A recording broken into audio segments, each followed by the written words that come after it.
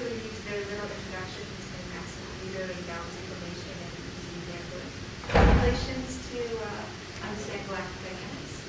And today he will kind of ask about cosmology on moving mesh. Thanks, Adrienne.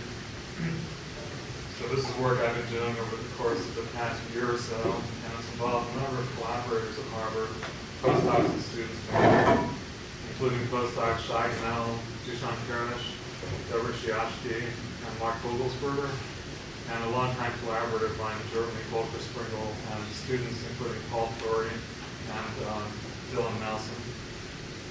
So this is really a report mostly on work in progress. So if you have any questions, please feel free to interrupt me as I go along. But the goal is to try and develop a methodology where we can theoretically understand how galaxies form and evolve. So this is something that people have been trying to do for many decades now with only limited success. And there are many reasons for this.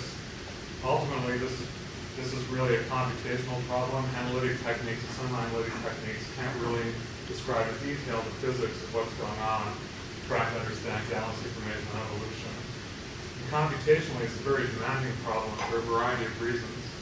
Right? We know the universe consists of both dark matter and gas.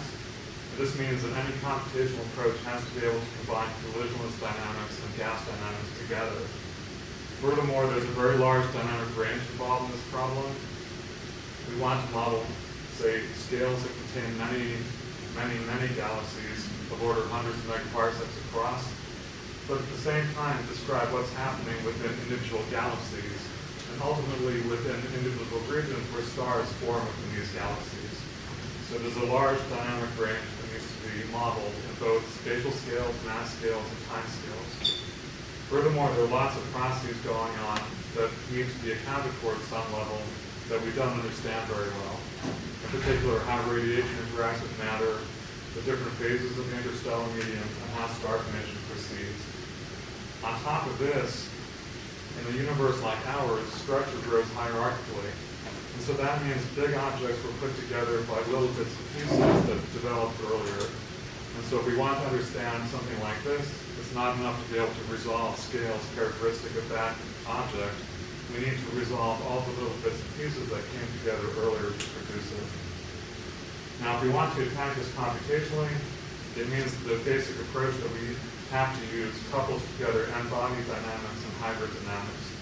So n-body to describe the dark matter in stars, and hybrid dynamic to describe gas that stars form from. Now, n-body techniques are not adapted. We can't take particles and split them up arbitrarily and so the only solution to that problem is to use a very large number of particles to represent, say, the dark matter density field. However, it is possible to formulate hydrodynamic solvers that are adapted, and those are the techniques that have been used most popularly in trying to model galaxy formation and evolution. And so there have basically been two types of techniques that have been used in this field um, that, that employ adaptive hydrodynamic solvers. And I wanted to briefly just mention the categories and then describe a new technique that we're going to be using, which is an attempt to combine the best features of these two traditional methods. So one technique is what's called the Lagrangian technique, and a particularly um, well-known example of that is what's called smooth particle hydrodynamics, or SPH. The idea behind these techniques is to take a gas, a region of gas, partition it into fluid elements, and then represent those fluid elements computationally by particles. These particles move around in response to gravity and also local forces due to pressure gradients and viscosity. And so imagine that you have some gas, you break it apart these particles, these particles move around and describe the updated properties of the gas in the future. Another technique is based on what's called an Eulerian approach. And so the idea here is to put down a grid and then compute solve the fluid equations on this grid by calculating fluxes of mass, energy, and momentum between neighboring grid cells. Now this technique can be refined using an approach called adaptive mesh refinement, or, or AMR. the idea is that if you want to achieve better resolution in some region, you start off with some base grid and then later put down more refined grid in regions where you need higher resolution.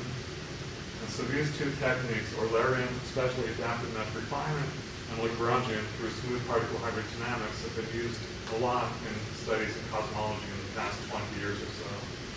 It turns out these techniques have very complementary strengths and weaknesses, and I wanted just to mention a, a couple of problems with the two techniques how the new method that we're using may eliminate some of these um, long-standing issues. So one problem with the Lagrangian techniques like SPH is that they have difficulty resolving interfaces between different uh, types of fluids and instabilities that might develop there. So here's an example of this in a study from Agertz in 2007. It consists of two regions of fluid that are sharing relative to one another. So the upper region is moving in that direction, the lower region that. The two phases are pressure equilibrium but have different densities.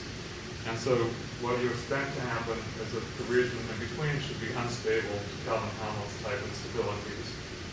Okay, these two solutions here are going forward in time using um, a couple of grid-based techniques. And here's the solution gotten with smooth particle hydrodynamics. So you can see the instability here is suppressed, mainly because this method doesn't resolve discontinuities, contact discontinuities very accurately. And I'll come back to this later in my lecture. On the other hand, these adaptive mesh refinement techniques have typically been implemented with gravity solvers that are not very accurate and not very efficient. And that's a big problem in cosmology where structure grows through the action of gravity and furthermore it grows hierarchically. So here's an example of this from some work from O'Shea in 2005. What it shows is the halo mass function versus mass of redshift 3 these were simulations done only with n bodies, so no hydrodynamics, just looking at the evolution of dark matter. The exact solution, or the solution that we know should be present, is given by the solid curve here. This short, long dash curve is what's gotten with a um, gravity solver that's in one of these SPH codes. And then these dotted curves are what's gotten using one of these adaptive mesh refinement codes. And even though this calculation here was quite expensive compared to the particle-based technique.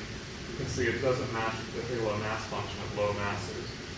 And that's a problem if we need to resolve structure on small mass scales to describe what happens later as objects grow hierarchically. On top of this, there have been some limited attempts to compare different types of hydrodynamic techniques in cosmology, and those comparisons have yielded ambiguous results. So this is work from a, well-known study that was done in 1999.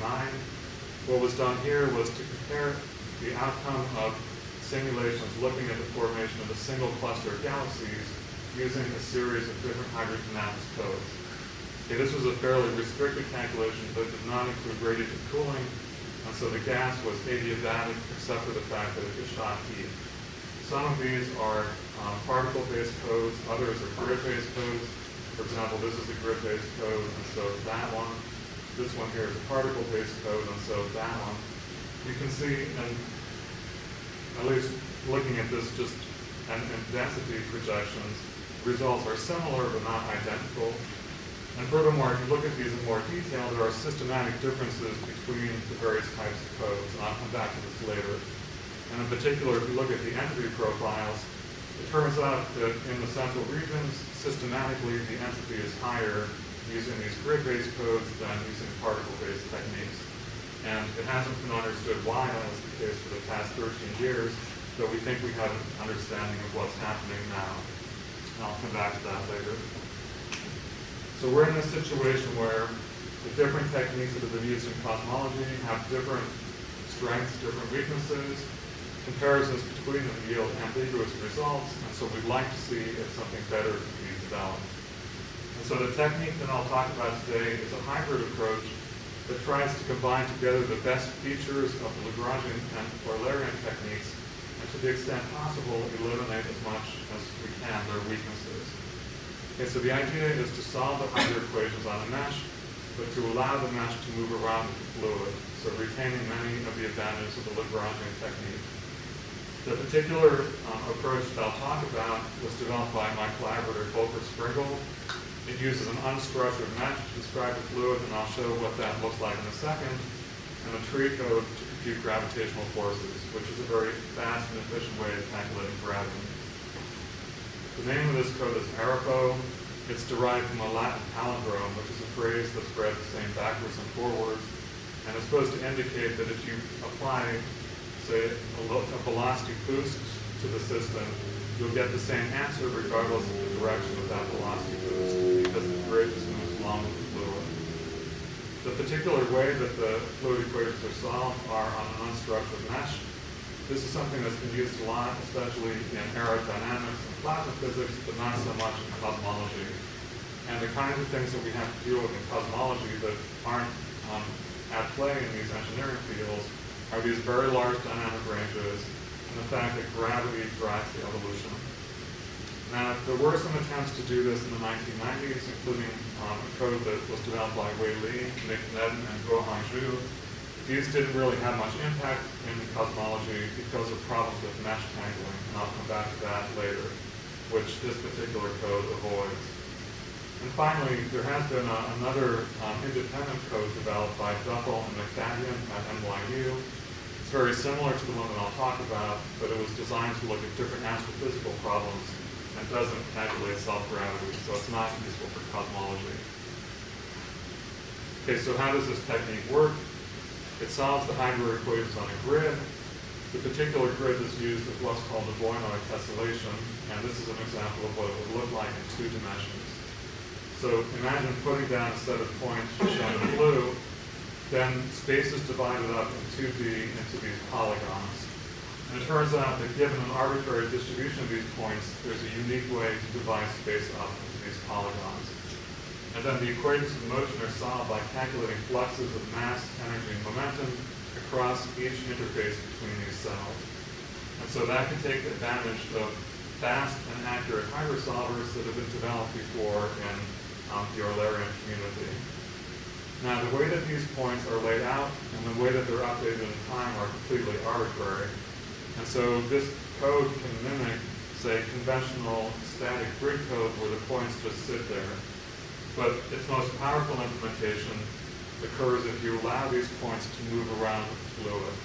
And that way the um, grid naturally adapts to the motion of the fluid and concentrates the computing effort where it's most required. So let me show you an example of this. This is a very low resolution simulation. The checkerboard pattern is the grid initially.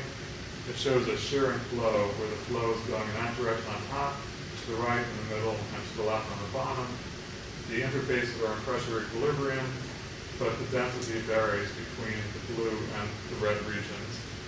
And so as the fluid starts to move, the grid moves along with it, and you'll see, if I can get this to work.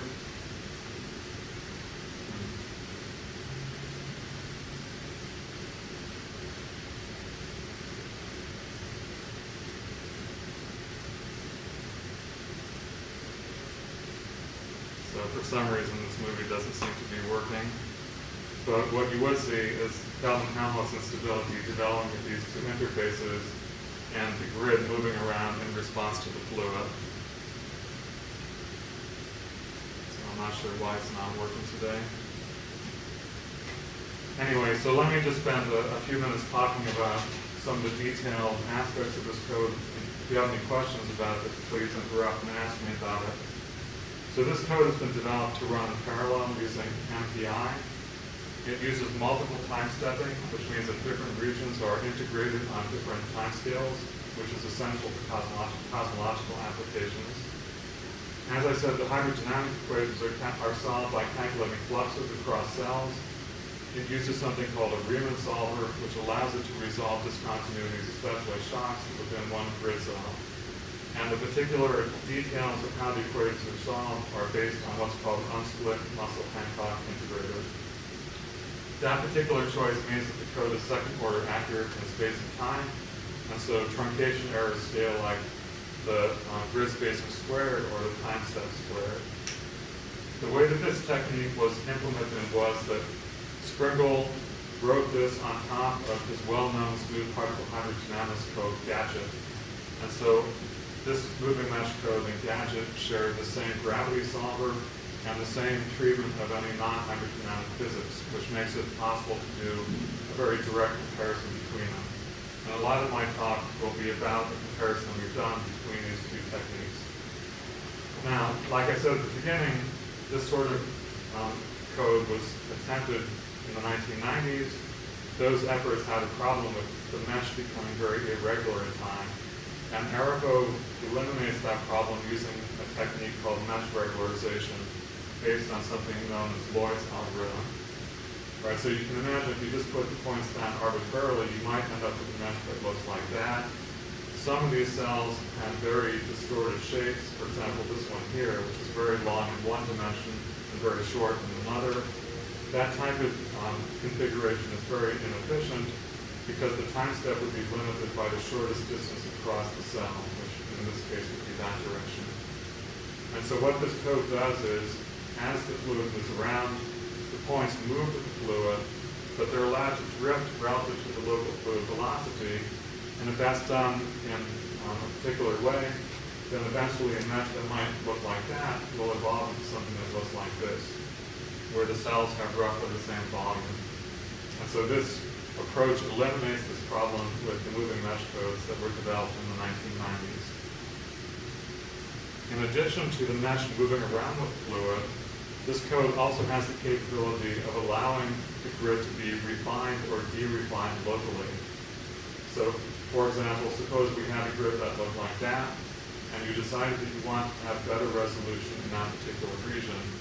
The way that would be done would be to eliminate this mesh generating point and add two on either side of the cell, basically splitting it in half.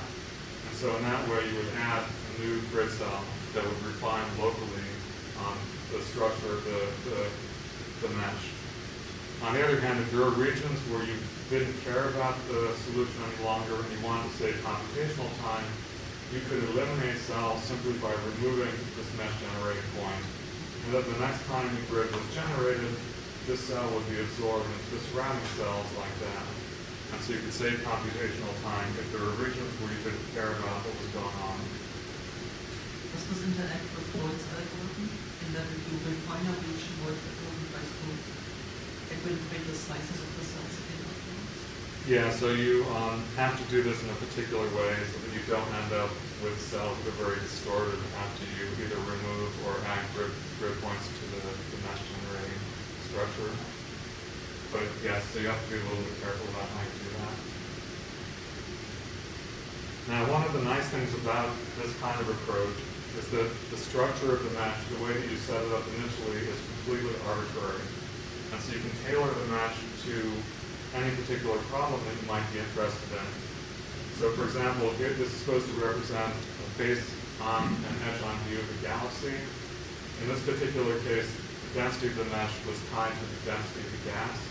And so the cells are very fine in the center where the gas density is high, but then much coarser when you get away from the galaxy where the gas density is low. Here's another example. One of my students was interested in looking at impacts onto the Earth. In this case, you don't really care about what's happening in the center of the Earth, and so you can represent that with a very coarse mesh. He was mostly interested in seeing what would happen near the crust and the atmosphere, in that region, the mesh is so dense that you can't even see the individual cells in this particular configuration. So in this case, the density of the mesh cells is tied to the gradient of the density, not to the density itself.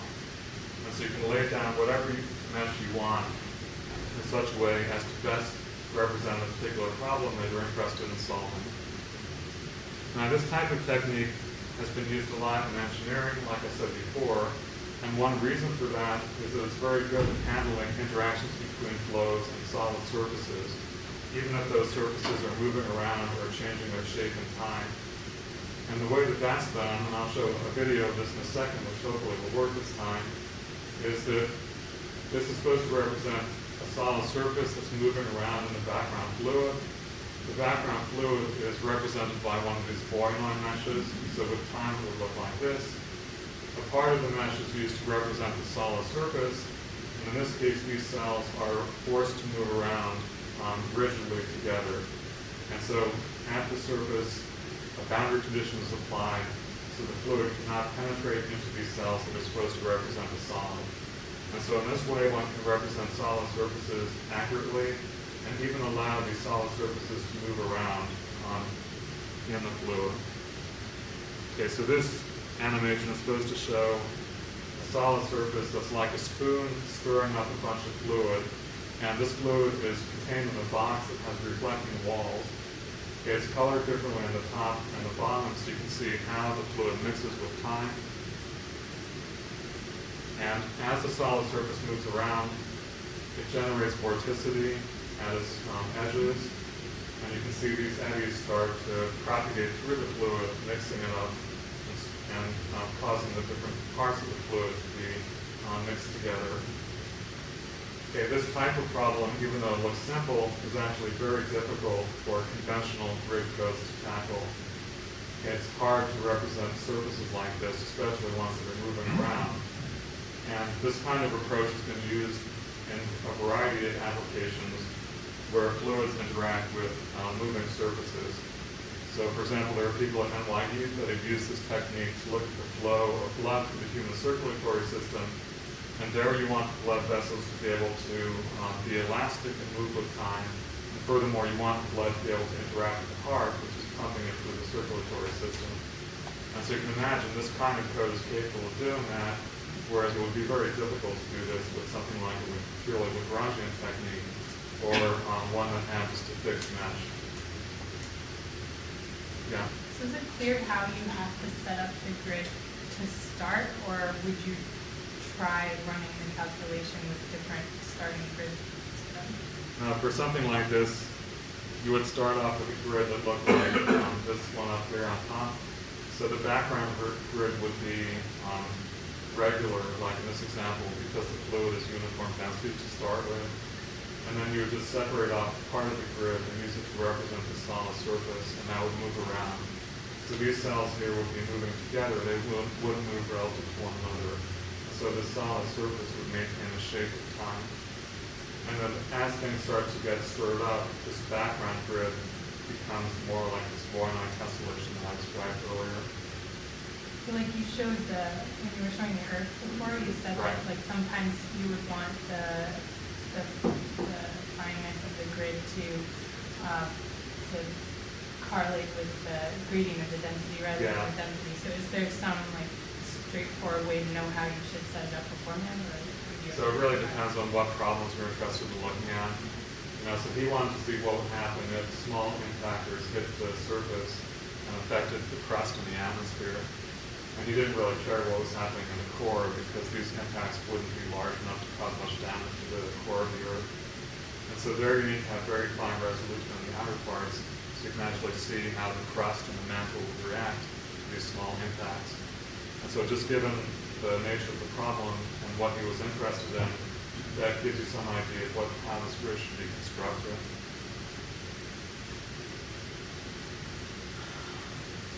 Okay, this code has been subjected to a variety of tests to make sure that it works in the way that it's um, supposed to.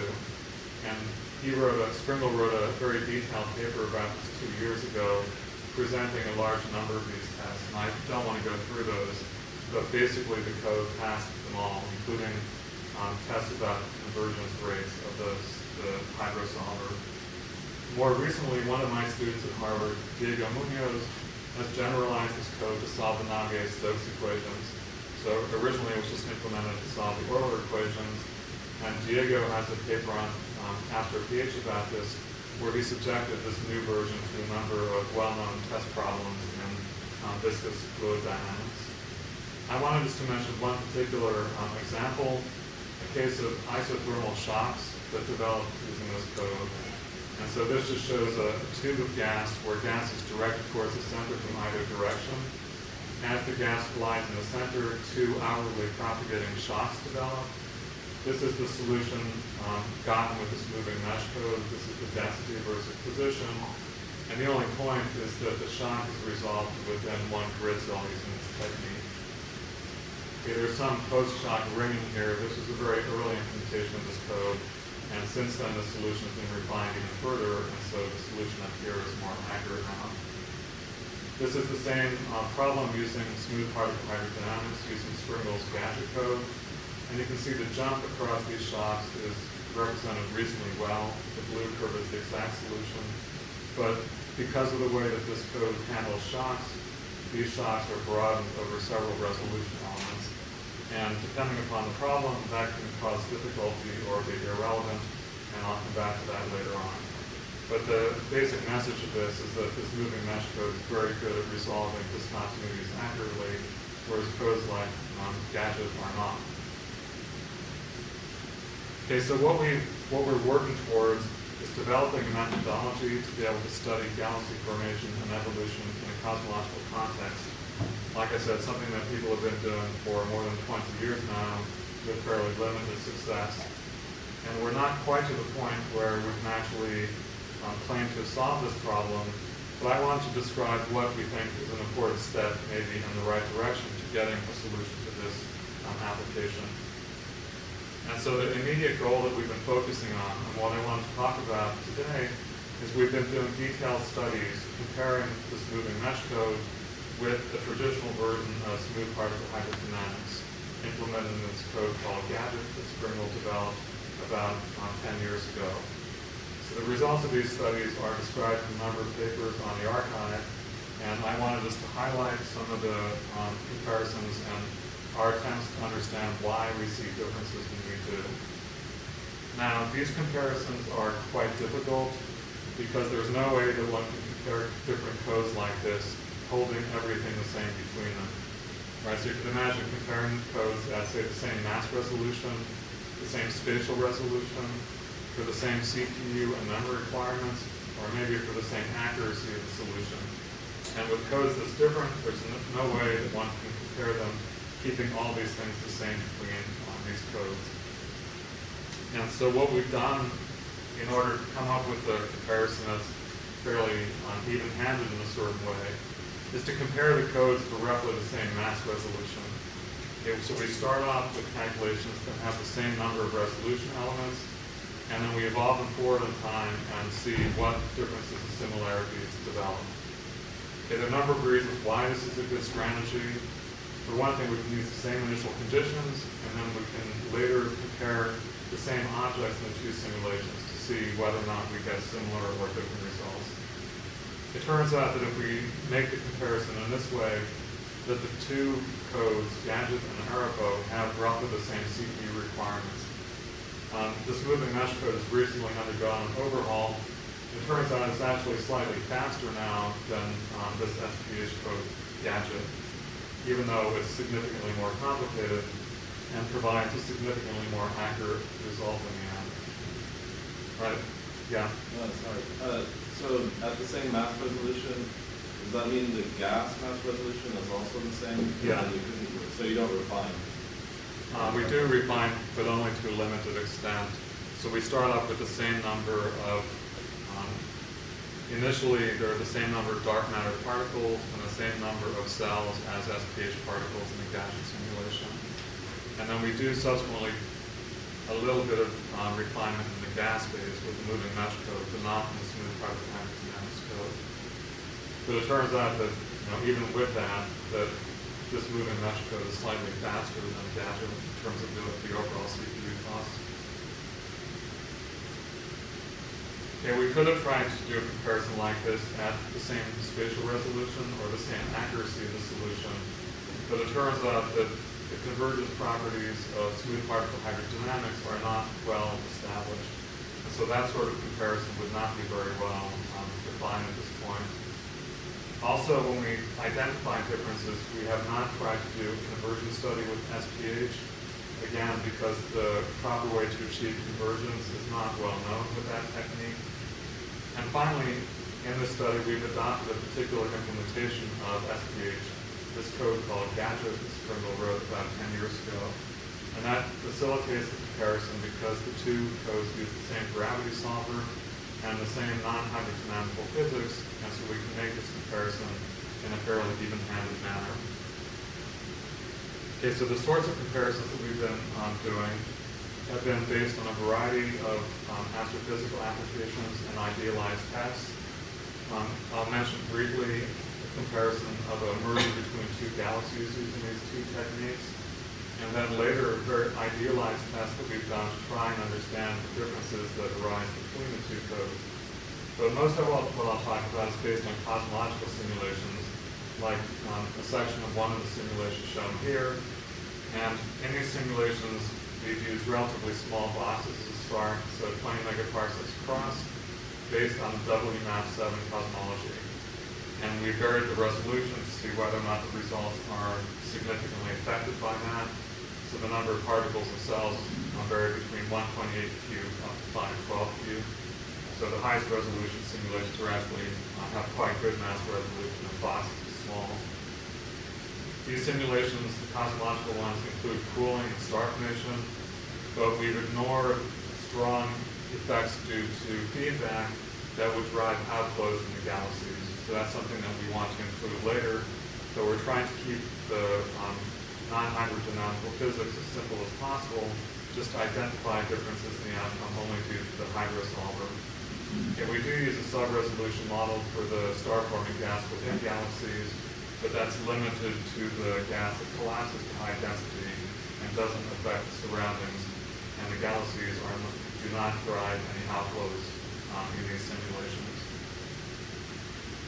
Okay, so I wanted to start just by showing an animation from one of these cosmological simulations. And what you'll see is a fly-through um, starting at redshift 1.9, and it'll show different regions and the objects that develop in these different regions um, as the region is shown from different directions and different locations. So one thing you'll notice is that this is showing the projected gas density. So throughout, the simulation produces things that look like rotating disks of gas. And to date, there's been no other cosmological simulation which has produced a population of disk-like galaxies um, that have this sort of appearance. We see in many situations disks that are interacting with one another. Right, so basically these are small groups that contain large numbers of um, disk galaxies.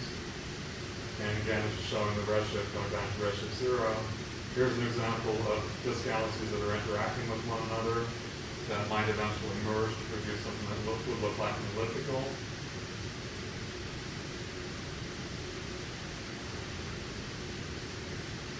A tidal feature is produced through these sorts of interactions.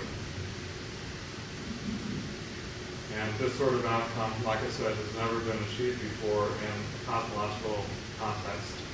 So there have been some recent results with very high resolution zoom-in simulations of individual objects, but there haven't been any simulations like this that have produced a large family of rotationally supported disks.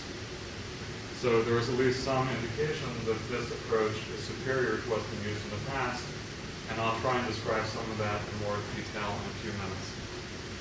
But I want to start by showing situations where the smoothing mesh code actually gets good agreement with the smooth particle hydrodynamics code gadget, and try and explain to you why, at least in certain situations, these two very different approaches seem to give very similar kinds of results.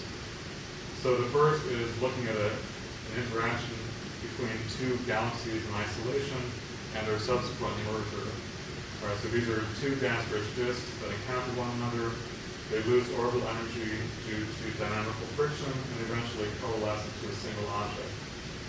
Now, what can happen in events like this is that if these disks contain gas, gravitational torques during the course of the interaction can cause a lot of the gas to collapse into the center and produce a strong burst of star formation there. And that has the consequence of modifying the profile of this, the remnant that's left over, and also possibly explaining things like ultraluminous infrared galaxies, these nearby starbursty galaxies that show intense star formation in their centers. So we've done these simulations using both types codes, AREPO and Gadget. This is a, a plot showing the star formation rate versus time.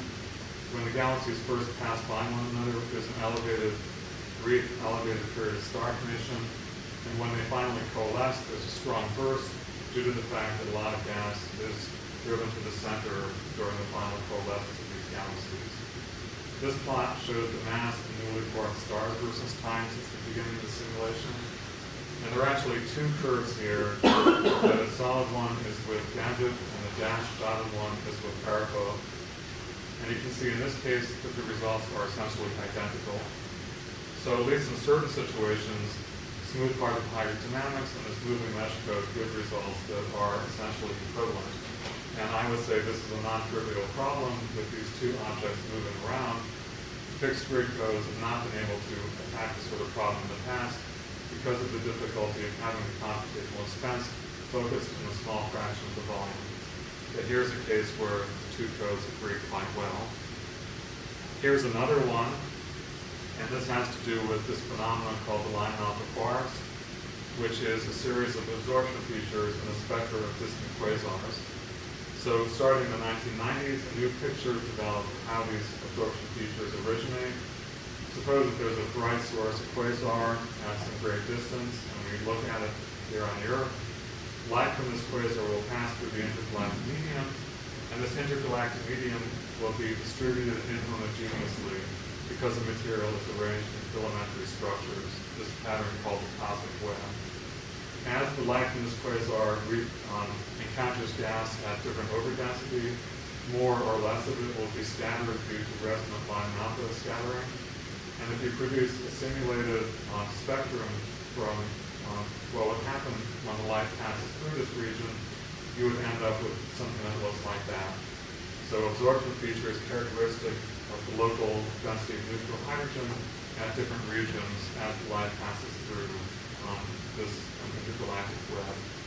Okay, this shows for comparison the real quasar spectrum, and at least by eye, they look very similar, and statistically, they agree very well. So we think this is how the Lyman alpha forest originates. So we've done simulations comparing our um, gadget to this particular problem.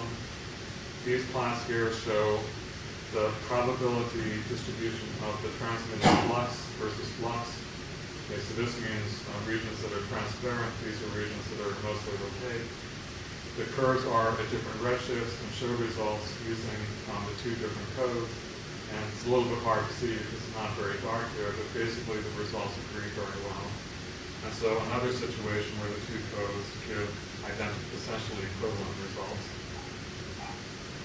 Okay, now there are good reasons why the two codes should agree in those particular circumstances.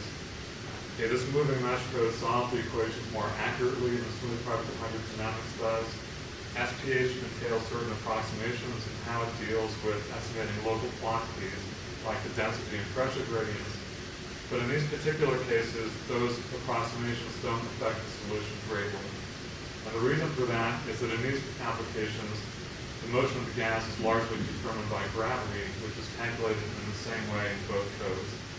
And so this means that slight, slight errors that are made in the short-range forces are subdominant and don't affect the solution very much. Furthermore, the physical state of the gas is fairly simple. The gas is mainly expanding or contracting, and shear in the gas is relatively less important. And so these are the reasons why the two codes agree well, and why these applications SPH is perfectly capable of giving reasonable answers. However, it turns out if we look at the cosmological context, things are more complicated, and in particular in regions near cosmological halos, the gas can exist in a variety of phases that are interacting with one another, and in those circumstances, SPH starts to have problems. Okay, so here's an example of what I mean. So this is showing simulations, cosmological simulations done with moving mesh code and with SPH. This is a slice through a box at redshift 2. So on large scales, the gas, this is the projected gas density on the top. The gas just traces out the filamentary structure of the dark matter, which dictates the motion of the gas on large scales. And then as we go down, it's showing progressive zoom-ins on this region here, and then finally this region at the bottom. This is the temperature and density at that scale, and then the same things on a small scale shown. You can see with this moving mesh code that at the center of this dark matter halo, there's a rotationally supported disk, and I'll show further examples of this in a second. Whereas with this smooth particle hydrodynamics code, this disk is less well defined and has a very clumpy appearance to it. So this kind of outcome has been conventionally obtained for the past 20 years or more. We get a very different kind of outcome using this moving mesh code, and we'd like to understand why we see these differences. Okay, so this is not a particular um, special case. These show face-on views of a number of different disks in one of these cosmological simulations. These are shown in Redshift 2, so you'd see pretty similar things in Redshift 0. Okay, these are the galaxies that were obtained using this moving mesh code. See face-on that they are um, nice-looking disks, and if you look at them edge-on, they're very thin. If you look at the same objects with Gadget, this is what you see. So going back and forth, you can see in all cases that the disks that we get with this moving mesh code are more extended and more regular in appearance. Okay, so in many cases with SPH, you end up with an outcome like that, or you end up with a bunch of disconnected blobs rather than something that looks like a rotationally supported disk. And so this is the kind of outcome that's traditionally been gotten in studies of this type over the past 20 years or so. And we're seeing significant differences just due to the um, change in the hydrodynamic solver alone. Now, if we compare statistically the odds result using these two approaches, it turns out that the galaxies that we see with this moving mesh approach are more disk-like, they're more spatially extended. So here's an example of this. We did an exponential profile to the disks that we got in the two um, solutions. This is the exponential scale length versus halo mass. The blue line is the result with AREPO, and the uh, yellow line is the one with Gadget. And so there are systematic offsets at the level of a factor of two or three and how extended these disks are. Furthermore, with this moving mesh code, the surface density profiles are more exponential and more regular, so more characteristic of what galaxies actually look like. And furthermore, this is also reflected in the amount of angular momentum that the baryons in these disks contain. So this seems to be a significant advance over what's been done previously. But I, I should emphasize that this is not yet a solution to the problem of forming disks cosmologically. And the reason for that is that these objects that we end up with, even in the case of this moving mesh code, are too massive in baryons for the dark matter halos we're sitting in. And the reason for that is that these simulations haven't yet accounted for processes that would drive outflows in these galaxies, which we know have to be included eventually, and which are definitely present in real galaxies. So this is not really a solution yet to the problem of cosmological disk formation, but it may be a step in the right direction. So in the AREPO case, what, by what fraction is the, the resistance you have? By what fraction? So they're overmassive by a factor of about two or three. So there has to be some process that would either prevent gas from falling into these halos, cooling and collapsing onto these disks, or if it gets there, there has to be some process that would drive it out back into the intergalactic medium. And we don't really know what the answer is to this, but the best bet seems to be that there are processes happening that would drive strong winds from the galaxies and drive a lot of the material out of course, turns to stars. And possibly that outgoing material would interact with material falling in, preventing that infalling material from reaching the galaxy. Okay, there are other differences in addition to the appearance of these individual galaxies. So for example, if we look at the total average star formation happening in a large cosmological box, that's shown here, the cosmic star formation rate versus look-back time. So this is the present and this is an early time. The blue curve was with AREPO and the on yellow was with Gadget. You can see that the star formation rate, especially at lower times, is higher with this moving mesh code. And it turns out that these differences are most noticeable in most massive halos. And because of this, it means that the galaxies that are forming contain even more cold baryons than would get with the smooth particle hydrodynamics code. And so that further exacerbates the need for some sort of feedback process that would prevent the gas from cooling onto the galaxies in the first place. And I, I said that this difference is most noticeable in most massive galaxies. So this shows the star formation rate versus halo mass. The blue, again, with the moving mesh, and the yellow with smooth particle hydrodynamics. This is a redshift 2, this is redshift 0. And you can see the star formation rate is systematically higher in these more massive objects. That has the net effect of producing more stars in the most massive galaxies. So this shows the um, stellar mass function versus um, stellar mass. And this shows the result of AREPO, this with Gadget. And so the more massive galaxies are more common with smoothing mesh code than with the smooth particle hydrodynamics code. So we already had a problem with the SPH simulations of the galaxies containing too many stars in the end. And so this makes it worse. And so whatever feedback processes operate to regulate the amount of star formation happening, they have to be accounted for even more so with these moving mesh simulations. Now, why does this happen? So what this shows is the net cooling versus heating rate as a function of redshift averaged over all halos. And the blue curve lies above. This means that the gas in the halos is cooling more efficiently in the moving mesh simulations than in the smooth particle 100 dynamics ones. So we believe that there are artifacts in the SPH simulations that are causing the gas, the diffuse, diffuse gas in the halos to be too hot, preventing it from cooling as efficiently as it should. And I'll try and motivate how that might be happening in a few minutes. Okay, so we see these systematic differences. We believe that the moving mesh simulations are more realistic, more accurate, but we like to understand why we're seeing these differences rather than just pointing them out. And so what we've done to try and understand them is to do idealized tests in very simplified situations see what sort of differences might arise and whether or not those could explain these differences that we see in these cosmological simulations. So here's an example of this. It's a well-known test that was done first by Agertz and collaborators in 2007. It does not include self-gravity, and what it shows is a blob of dense gas plowing through more diffuse medium. Okay, so this blob is moving in that direction. Initially, it was in pressure equilibrium with the surroundings. Okay, as it moves through this uh, diffuse gas, bow shock develops, and this is the solution that we get with this moving mesh code.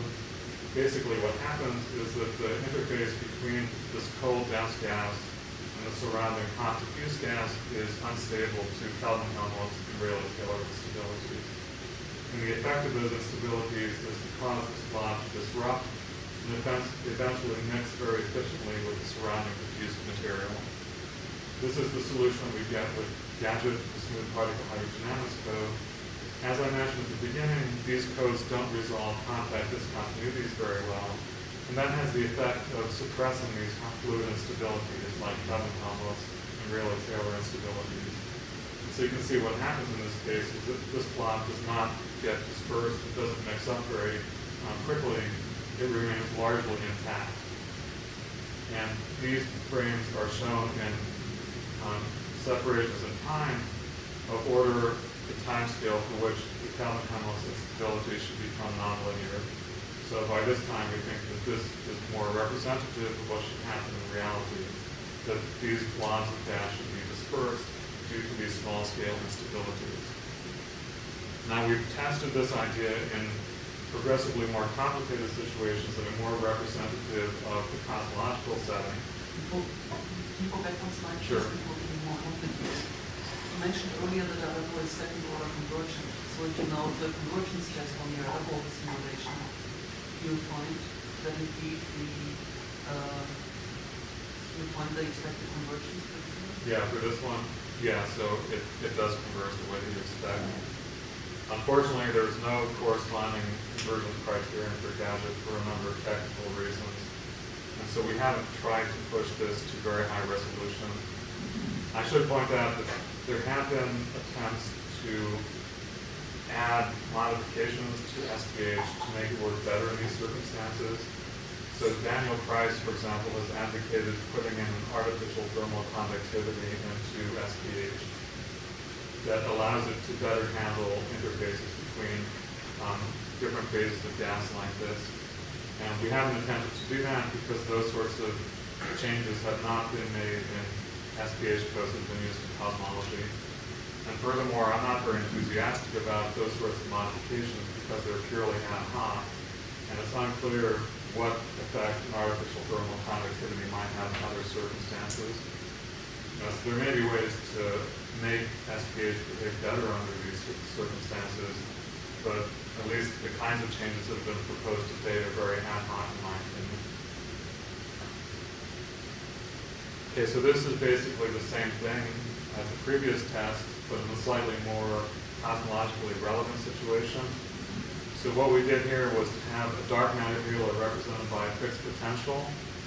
In this potential, we added diffuse gas in hydrostatic equilibrium, so it's just sitting there. And then we put in a bunch of orbiting dense blobs of gas, initially in pressure equilibrium with their surroundings.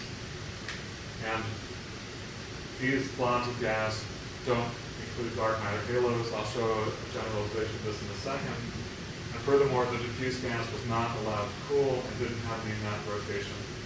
Okay, so these blobs are just orbiting around. This is the um, outcome with this moving mesh code. And you can see what happens is that due to these hydrodynamic instabilities, these blobs start to get dispersed. As they lose mass, dynamical friction on them is less efficient, and so they tend to orbit around in the outskirts, eventually be destroyed, and mix their um, low-energy material with the surrounding higher-energy gas, that's um, the diffuse gas.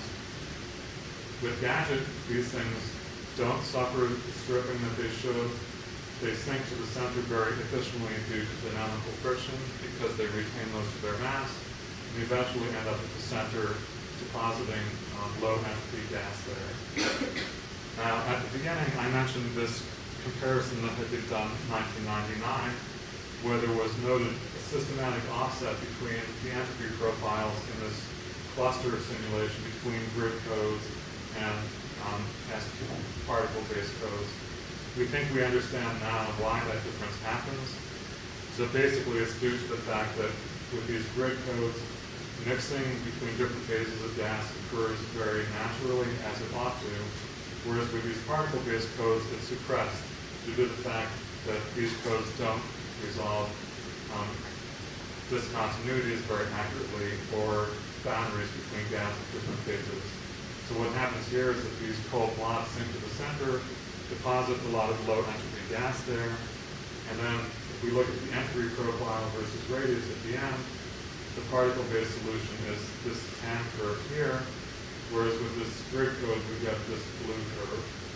So we think we understand now why this offset is seen in these simulations from 1999, and we believe it's due to artifacts with these particle-based codes that don't allow um, gas different phases to mix together as efficiently as they should. And so low entropy material ends up in the center artificially, whereas it should be mixed up at larger distances, and the um, higher entropy cores should um, be more representative of what would really happen in a situation like this. Now we've further generalized the simple test, so this is again supposed to be more representative of these cosmological situations. So again, this shows a dark matter halo represented by a fixed potential. We put gas into this um, dark matter potential, diffuse gas, again, initially in hydrostatic equilibrium. But this time we added some net rotation to the gas, and we also allowed this diffuse gas to cool radiatively. Then on top of that, we added a number of orbiting subhalos, so dark matter halos, each having some gas in them, so they're indicated um, by these small blobs here. Now, what we see with this solution with this moving mesh code is that gas gets stripped out of these subhalos due to interactions between that gas and the diffuse gas surrounding them. The gas is stripped out through these hydrodynamical instabilities and eventually gets mixed up with the diffuse gas at large distances. As the diffuse gas cools, it starts to form a rotationally supported disk at the center. And so we end up with something that looks like a nice face-on rotationally supported disk of gas. What happens in these particle-based simulations is quite different. The gas in these subhalos doesn't get stripped out very efficiently. These things tend to sink into the middle, depositing low angular momentum gas there. Right? In this case, the gas is stripped out at large distances and retains orbital angular momentum. And so when that gas cools onto the center, it still has a lot of angular momentum in it. But in this case, that doesn't happen. The gas loses angular momentum and gets deposited at the middle. So you end up with a situation where there's much more compact object at the center with a few more orbiting um, subhalos still left, very representative of what we see in these cosmological simulations. And so we think that one of the reasons we see these differences is due to the fact that gas stripping is not handled properly in these particle-based flows. Now, I mentioned also that we saw these differences in the heating and cooling rates in diffuse gas in the dark matter halos. We think that's related to a different kind of problem having to do with small errors that are made in some of the local fluid quantities and the particle-based techniques that don't show up in the moving mesh simulations. And so this issue was investigated recently by Volker Springel and Andreas Bauer. What they did was to study turbulence in very idealized settings. Okay, so this is a, a box with periodic boundaries, and what they did was to force turbulence in it by driving it on very large scales and then allowing it to relax um, into some sort of steady state. Okay, so this shows um, the turbulent velocity field, turbulent density field, and a measure of the vorticity. This is after some period of time where this um, system has roughly achieved a steady state. This is the solution with this moving mesh code. This is the solution with a fixed mesh by comparison, and this is what you get with smooth particle hydrodynamics. In this particular circumstance, this turbulence was subsonic, and you can see that the errors that are made in things like the pressure gradients locally have the effect of washing out the small-scale turbulence. Okay, we think this is related to this issue of suppression of cooling in the halos, that this turbulence is suppressed and dissipated on larger scales ought to be, and that has the effect of acting as a heat reservoir, heating the gas artificially, preventing it from cooling. Now, unfortunately, this is a, a kind of situation where these sorts of differences occur in some situations but not others. And so this is the case of subsonic turbulence. This is what happens if the turbulence is driven supersonically instead. This is the moving mesh, the fixed mesh, and now this is what you get with SPH. And in this case, things look much better. And the reason for that is that in the case of supersonic turbulence, most of the energy is in kinetic energy, and errors made in the local quantities like density and pressure gradients are subdominant. And so here we can get a perfectly good solution with smooth particle hydrodynamics, unlike the subsonic case where these small scale errors out the solution completely. Yeah, I wanted just to mention a, a couple of other things that we've been looking at um, most recently before I quit. One has to do with something that um, has become very popular in the past six or seven years in cosmological simulations. The idea that gas can be delivered into the centers of halos in some sort of cold form rather than being shot in the outskirts of dark matter halos. Okay, this idea has been popularized by simulations like this. Um, this is from a paper by Dusan Keres and collaborators from three years ago. And what it shows is the distribution of gas at redshift 2 and at redshift 1 in a particular halo whose redshift zero mass is 10 to the 12. Okay, this is a temperature scale. There's a lot of shock gas. It's very hot. But on top of that, there appear to be these cold filaments of gas plunging into the centers of these halos. So this is showing cold gas only. You can see there's an indication that these cold filaments actually extend to the very center of the halo, possibly delivering a lot of cold gas there directly without it having to be shock, shock heated and eventually cooling onto the central object. These simulations were done with SPH, in fact they were done with Gadget, and based on recent tests that we've been doing, we have some reason to suspect that these may be at least partly due to numerical artifacts with this technique may not be real. And in fact, there are a number of other problems with SPH that I haven't mentioned up to now. For example, things like um, the gas can often exhibit artificial clumping when it shouldn't. And furthermore, because shocks tend to be broadened with this technique, gas can actually experience cooling as it passes through a shock when it shouldn't, if the shock is actually a sharp discontinuity. And so just as an illustration of this, these are tests that were done with um, Gadget and with AREPO. This shows a particular halo at redshift one, and so the halo is roughly here, and then this is surrounding the surrounding medium.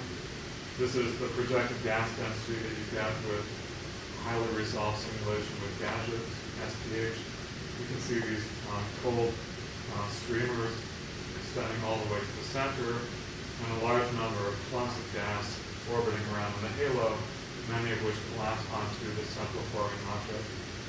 This is the same object simulated with AREPO. You can see a lot of these streamers are simply gone, and there are none of these clumps that would um, present in the halo that might sink into the center. So we're seeing significant systematic differences between solutions gotten with SPH versus this moving mesh. And we have good reason to believe that a lot of this structure is purely artificial due to some of these problems with SPH. And so at this point, we still have a lot of work to do on this, but I have to say I'm quite skeptical about this whole picture of cold flows feeding the formation of galaxies and dark matter halos. Okay, so Can you comment on dwarfs? what's that? Can you comment on dwarfs? Dwarf galaxies? Well, the dwarf, uh, diurnal dwarfs. So um, this is kind of a misleading picture. So this is showing the projected gas density. And it turns out that a lot of these clumps here don't have dark matter halos. They're just clumps of gas. And so the reason for this is that there's um, hot diffuse gas surrounding the central object in this dark matter halo. These cold streams are flowing in. And SPH tries to allow Kelvin-Helmholtz type instabilities to develop, but rather than allowing this cold gas to mix with the surrounding diffuse gas, instead the vortices that are produced start to fragment apart into these blobs. And so these blobs are occurring basically at the resolution scale of the simulation. So that's why they appear. Now you see a number of objects here in the moving mesh simulation. These are actually small subhalos that contain gas. And whether or not we can come up with some way of explaining the missing satellite problem problems based on purely hydrodynamical effects is unclear. And it could be that if we, um, if these, if these simulations represent gas stripping more properly than some of the earlier simulations have, that maybe some of these satellites will eventually become dark just because the gas is stripped out. But of course, that will depend upon the interplay between the star formation happening and the, and the rate at which the gas is stripped out. So I simply don't know what the answer to that would be. Okay, so let me just uh, finish by mentioning where this work is going in the future. And so what we want to do next is to do much larger simulations in boxes that are around 100 megaparsecs across with around 2,000 cube particles of cell and cells. We've started um, these runs already. This is a redshift zero representation of the first run that we've done, which includes only dark matter. We're going to do these simulations in increasing complexity of the gas physics, but starting from the same initial conditions, so we can compare objects and see how they're affected by different treatments of the gas physics. So the next one that we're going to do will be to include gas don't allow it to radiate, so it'll be adiabatic beside the shock um, heating. And then finally do a run where we include some treatment of all these different physical processes that ultimately need to be accounted for, like properties of the star-forming gas, trying to account for feedback and outflows to galaxies in some simple approximate way. Ultimately, what we want to do is to try and refine these sorts of models. And the way that we're going to do that is based on, for example, work recently done by Phil Hopkins, Eliot Quataert, and Norm Murray, where they tried to model explicitly the structure of the star-forming ISM and all the feedback processes that we think might be operating.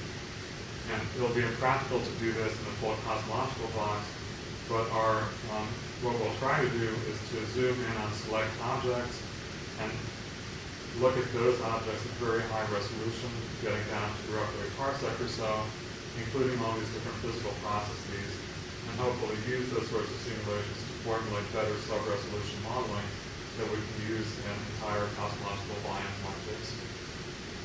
Okay, so to summarize, trying to solve galaxy formation and galaxy evolution cosmo- cosmologically is a very difficult problem. And in particular, if we want to do this numerically, we have to use adaptive techniques.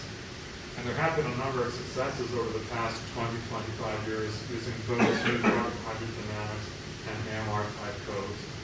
However, these techniques each have their own limitations, and that's motivated this new approach based on this moving mesh code, AREPO, which tries to combine together the best features of SPH and AMR code to the extent possible to eliminate their weaknesses. And in particular, this code retains, say, the geometric flexibility of smooth particle hydrodynamics codes, but it also has very limited diffusivity, like adaptive mesh refinement codes do, because it doesn't use things like artificial viscosity to describe discontinuities. And so it allows for a very accurate handling of shock waves and discontinuities at interfaces between fluids of different phases, enabling it to handle fluid instabilities uh, correctly and accurately. And so I think the re- results that I described today, while preliminary, are promising may allow us to obtain in the near future a technique for actually understanding galaxy formation and evolution from first principles. Thank you.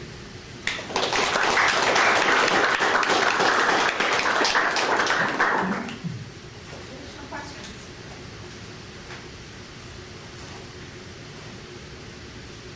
So you were saying that AREPO can uh, prevent cold flows just from the hydrodynamics. So why is the overfluid problem worse? Yeah, so these kinds of filamentary structures don't appear, but the gas that actually ends up um, in these halos is cooling at a more rapid rate than the gas that's present in these halos here. And that's due to small-scale errors that um, SPH makes that keeps the gas hot and prevents it from cooling as efficiently as it should. You so it looks like there are a lot of um, cold blobs here, but they're actually fairly low in mass. And so the overall net cooling rate is actually higher here, but the gas is cooling contains more momentum than it does in case.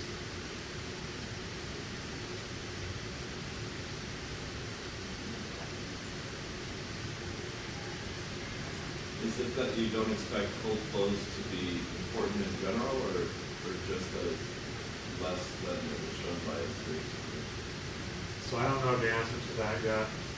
Um, if I had to make a guess, I would, I would say that there would be less important in general and not necessarily completely um, absent. You know, you, you can't, it's a little bit hard to see um, in this image, but there are indications that there are some filamentary structures attempting to come into this halo.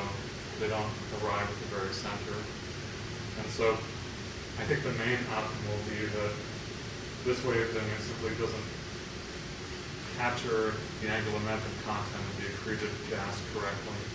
And that's one of the reasons that these SPH time simulations haven't given things that look like rotationally supported disks. Whereas here, the cold gas mixes much more efficiently with the hot surrounding diffuse gas, retaining its angular momentum. And I think that's another reason why we see objects that are more rotationally supported with this kind of approach than with this particle-based technique. I see, so the gas that on the Arepo one, it, it is shock heated around the virial radius before it falls in.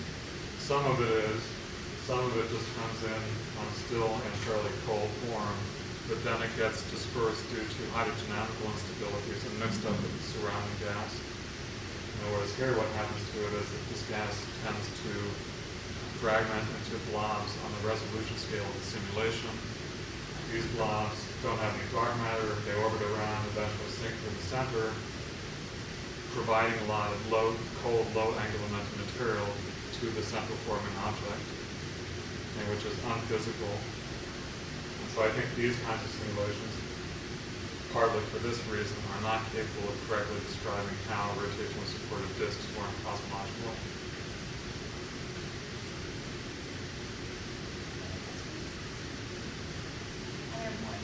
Um, in this kind of picture, are the dark matter halos that are these identical, or do you see changes in the gas dynamics actually impact how the dark matter halo responds to the presence of? So So, um, that's something that we haven't really looked at in detail yet. But yes, I think the different distribution of the baryons will affect the surrounding dark matter in terms of the shapes of the dark matter halos and their density profiles. And that's something that we're just starting to look into now with these simulations that we're doing. Questions, let's the laws again.